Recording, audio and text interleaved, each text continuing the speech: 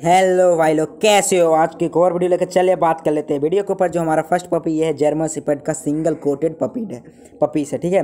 Price का जो उन्होंने डिमांड किया मेल का 8,500 और फीमेल का 6,500 का ठीक है? लोकेशन है फरीदाबाद गुड़गांव दिल्ली एनसीआर। एज हो चुका है थर्टी थ्री डेज़ के पपी हो चुके हैं एक महीने का पपी हो चुके हैं। कोटिंग नंबर आपको स्क्रीन पर शो कर रहा होगा और जल्द ही मिलते हैं नेक्स्ट वीडियो में। तब तक के लिए बाय